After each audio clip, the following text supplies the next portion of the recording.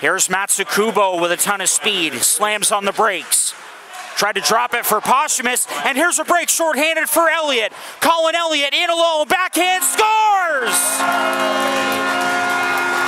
Have to go here in the first.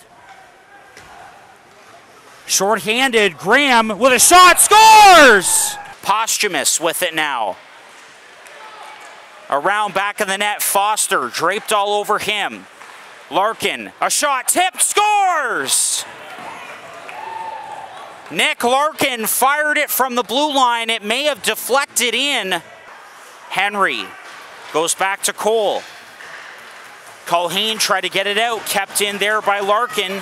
Reed now with a shot deflected into the net. Bell Sterling backhands it towards the goal, shoveled away there by Stewart. Up top, LeDrew changes the angle, shot, scores! 37 to go in the re in regulation.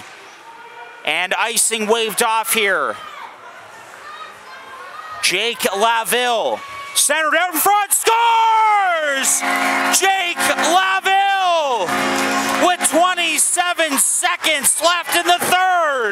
To Larkin, Colhane in front of him. Colhane blocks that. Hardy Posthumus, shot, save, loose puck, scores, and there it is. Curtis Sturgeon, overtime winner, and the Nepean Raiders win this one on the road over the Braves, four to three.